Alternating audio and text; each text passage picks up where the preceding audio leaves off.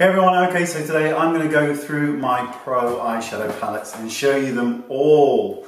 So let's make a start. The first one is a little one, and this is in a, I think it's called a view set, view set, view set. It's a little plastic container, and I pretty much melted most of them in here. Now these are all Charlotte Tilbury. So you've got the real neutrals at the top, then colour, and then real strong colours here as well.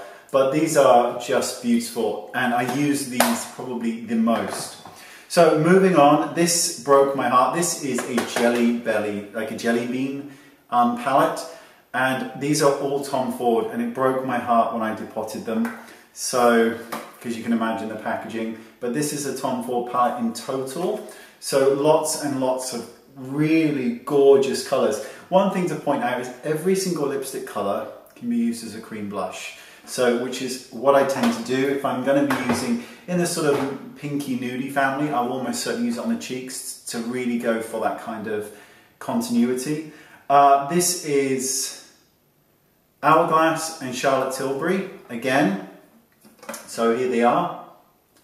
That is just a little bit heavenly, isn't it?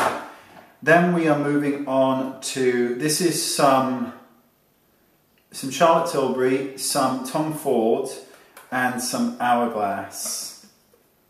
So, I mean, look at those sort of, these shades here are great. They're really kind of matte. Um, I can do like a swatch thing for you all, but again, it's a mammoth task, so let me know if you want me to. This is, again, see it's got the jelly, the jelly belly bean thing on it.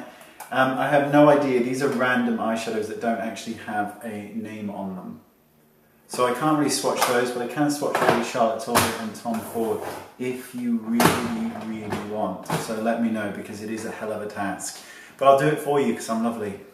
All right, let me know what you think of these lipsticks. And don't forget, any comments, I will read them in the description and the comment section below. Thanks so much. Bye-bye.